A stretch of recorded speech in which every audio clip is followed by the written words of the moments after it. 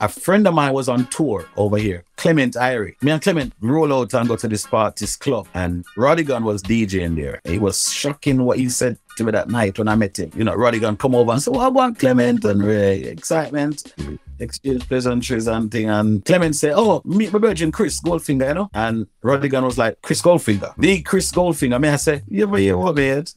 He said, Yeah.